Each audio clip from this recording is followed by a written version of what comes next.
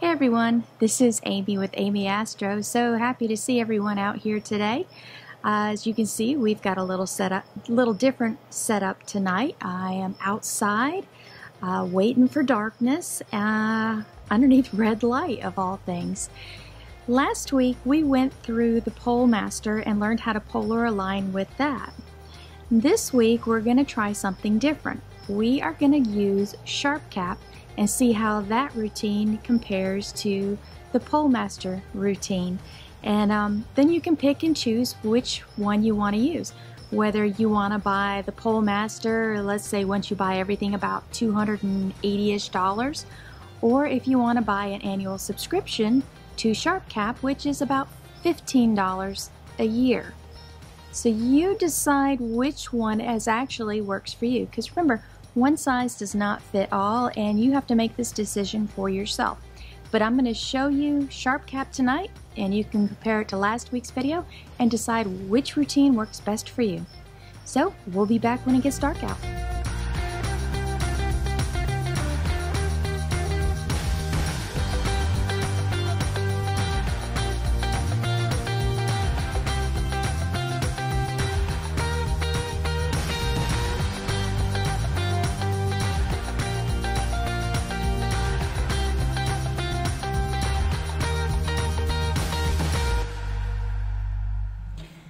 Let's take a look at SharpCap's website. Their website is sharpcap.co.uk. And I'm over here on their home page and it lists out what SharpCap is capable of doing and it does a whole lot more than just polar alignment.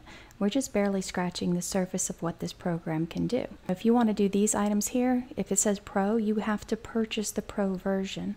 Other than that, this software is completely free but the polar alignment that we're showing you tonight is part of the Pro package. Okay, let's start with the download tab. Okay, and on the download page, this is where you can get the free version. And it does everything except for what it was labeled out as the Pro in the first page. And if you want the Pro version, you come over here to Buy SharpCap Pro. And it'll walk you through how to go about paying it. You can see that it is 10 pounds um, UK or in the US it's about $15. This is a subscription and it is good for about one year. Let's go back to SharpCap's page. All right, and there is a section here, Pro Features. It tells you what the Pro version gets you in addition to all the free stuff.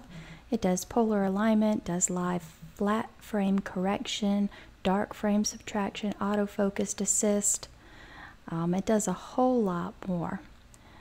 Okay, but if you want to do the polar alignment, you will need to get the pro version of the software.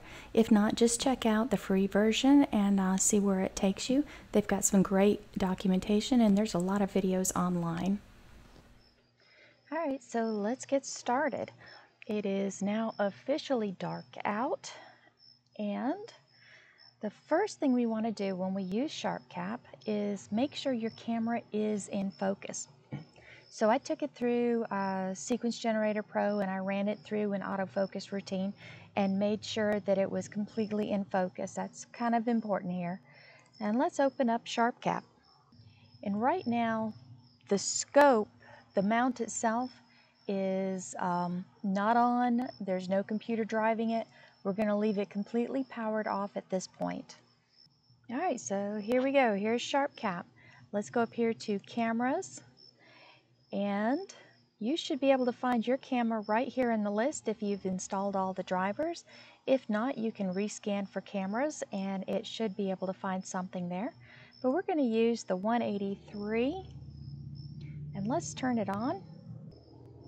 All right, now we're going to go over here. Let's see, I think it's tools and the polar align routine. So it gives you some instructions down here at the bottom about polar alignment. And you can go ahead and read through all of these, but the first thing you're going to want to do is hit there and say next. And it will walk us through everything that it is trying to do. Now, it is trying to do um, a plate solve on everything. And let's see, let's probably bump up the exposure to the camera. Because right now it's using the main imaging camera and it is going through a light pollution filter also. Let's get a longer exposure here. Let's go up to a four second image.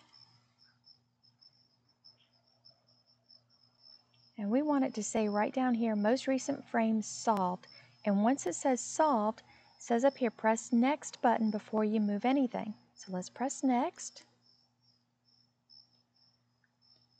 All right, now what it's wanting to do is to rotate our RA axis. So we're gonna come over here to the scope and we're gonna loosen up our clutch and we're gonna take this down until it is parallel to the ground, okay? So the scope is on my left. Let's tighten down the clutch.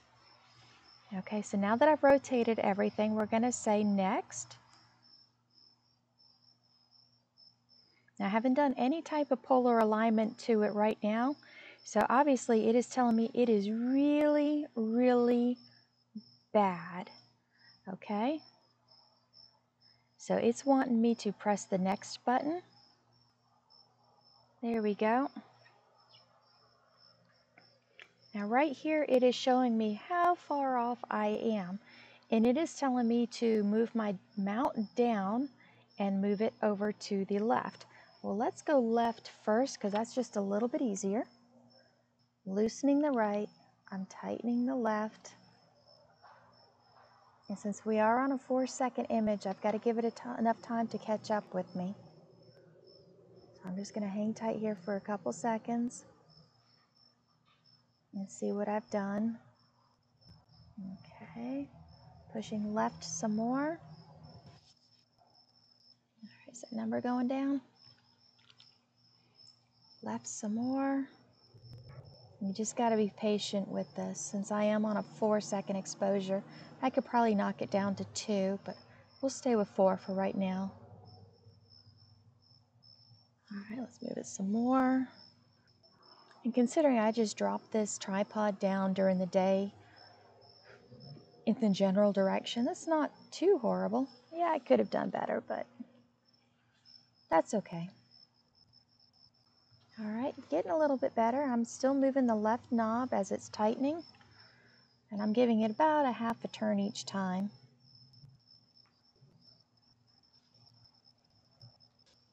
Right, we're getting better. Now you can see right here where I'm going to is here, and this is where I'm starting from. So I'm trying to get all the way up there. And I'm just concentrating on the AZ knobs at this moment. There, that's a little better. All right, after this image, I think we'll start tackling the altitude a little bit. Tighten this guy down some. All right, I'm loosening the front knob. And it says that I want to take the altitude down. So to go down, I need to go counterclockwise. Let's see if we guessed right here. All right, turning. We're starting at one, two, one. Where does it go next?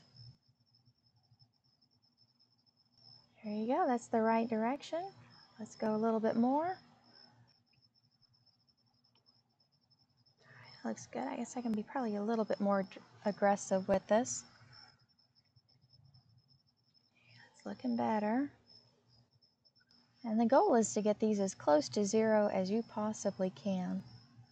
And a lot of that's going to depend on what your atmosphere is looking like at that moment. All right, I'm going to see if I can speed up these exposures just a little bit. Will it run under two seconds?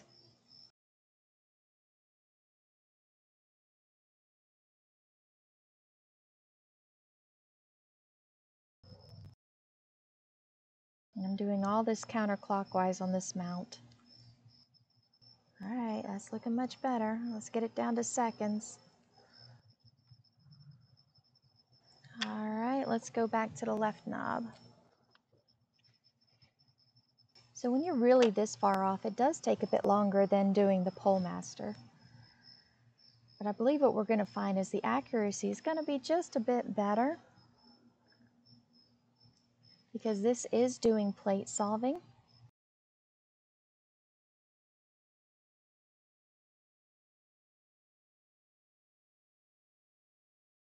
If you look up here, you can tell I'm definitely getting closer. You see things, they start moving around on you. All right, I want to go up, so now I got to go clockwise a little bit. At least I'm out of the poor range. I'm down to fair. I want to get to excellent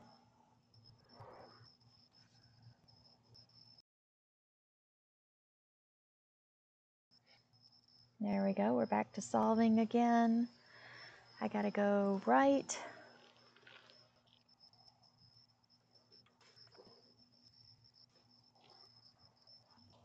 There we go. Now I want to show you. Notice how these now change to parallel lines. Goal is to get the two parallel lines to match up on top of each other. So right now, this is looking pretty good. It's to bounce between the two. And a lot of that's the atmosphere. So I'm just going to tighten those down just a little bit and not mess with them. And we want to move up. So I'm going to just tighten down the altitude up front and see if that shifts me up just enough. Nope, not quite. All right, let's go up. Up is clockwise. We're getting close. Check that out. That looks really good right there. And my total error is 44 seconds. I really want this to stay in excellent for as long as possible. It says I need to go up some more. Let's try just a little bit more. All right, we're at excellent, 22 seconds off. Now we're just at good. That looks really, really good right there. Let's see how it looks after a couple frames go through. Look at that. It's just bouncing around, but given it is very humid out right now, that's not bad. I'm feeling pretty good about this, guys. Because it's bouncing between right and left. So if I was to correct this, it would keep bouncing. And how's it doing this? This is bouncing between up and down. And I think it's just our air. It could be vibrations in the ground also. We've had a lot of rain lately and it is very soft out here. But I'm going to call that polar aligned. I am happy with that number. All right, so now from here, you're going to take your, uh, let's see, we'll disconnect our camera or we'll close this out and disconnect my camera and then just close the program. And I'll put my scope back in the home position manually. I'll turn the power on and start up EQMOD and finish with my routine. Alright folks, so after that last polar alignment routine, I ended up turning everything off and went inside for a couple hours. I was waiting for my target to get high enough for me to image. And when I went back, I decided to run SharpCap one more time just because it was bouncing around earlier. And when I did, I just needed a very small adjustment and I was able to get it to be about seven or eight inches out. Uh, not inches, seconds out, which ended up being really good. So later on in the night, and I was checking my graph for um, PHD, I took a snapshot of it real quick because I didn't have my recording set up. But this is what it ended up looking like, and I don't get that every day. That's that's a pretty good graph for me, and I'm extremely happy with that. But this is what I wanted to show you here. This total it says 0.79 seconds. Now, as long as this stays below your camera scale, which my scale is 1.17, then I know that my images are going to turn out sharp and crisp without any star trails at all. So that's the number that you need to watch. Make sure that it stays underneath your image scale and you will do just fine. All right, and one last thing, let me show you my new website that I have up and running. It is amyastro.com, and this is set up just for you. So if you want to see something, let me know what you would like. I am going to attempt to do a weekly blog where I'll give you some of my thoughts of what's going on, and I'll answer your questions. And as always, I have all my latest videos with a nice, easy single click link there for you. I've got tabs, one for video, one for blog, and they're uh, they're I like them. I, I think I've got them organized well, and basically it's the order that I publish them at. You know. All right, but also I tell you about my gear, my Raven scope, my Freedom scope, and a soon to be announced new scope. But you'll have to stay tuned, and I will uh, I'll show that to you real soon. But this is what I've got for you guys today. A special shout out thank you to a David in Arizona and a Keith in Georgia for making a donation on my website. I truly appreciate that. That will definitely help me keep this up and running because you know it does cost me a little bit of money to keep this going for you. So every little bit does help, and I appreciate all of you. But until next week, this is Amy Astro, and I am wishing you all some wonderful health and some clear skies. And I will see you in a week. Goodbye, y'all.